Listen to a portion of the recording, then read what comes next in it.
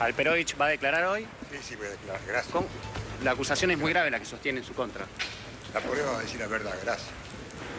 ¿Va a desmentir todos los hechos? Con- estoy, estoy con mis cuatro hijos.